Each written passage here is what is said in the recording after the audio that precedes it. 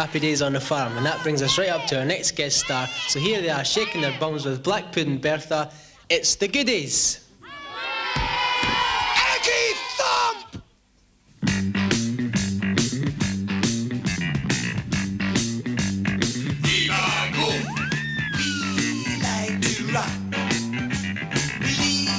it on.